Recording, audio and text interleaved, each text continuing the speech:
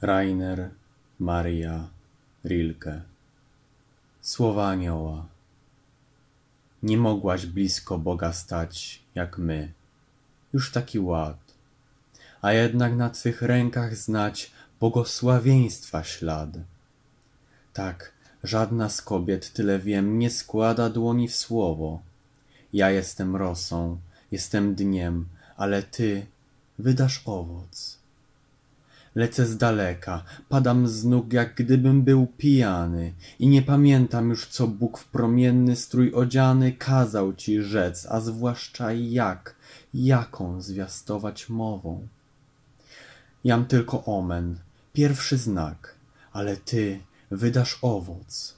Rozpięte skrzydła, które mam, doprawdy są ogromne Lecz choćby jesteśmy sam na sam w twojej izdebce skromnej, nie widzisz mnie i niewzruszenie tkwisz z pochyloną głową. Bo ja tylko wiatru tchnienie, ale ty wydasz owoc.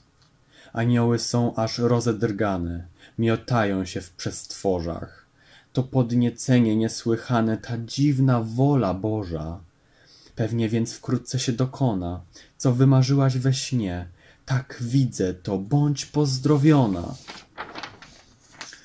Błogosławiona jesteś, bo jesteś bramą, która już wkrótce się otworzy.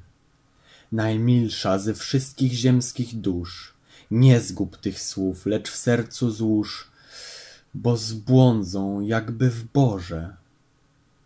Niech w końcu spełni się Twój sen, rozpocznie świat na nowo Bóg mnie tak olśnił, gdzieś tam hen, ale ty wydasz owoc.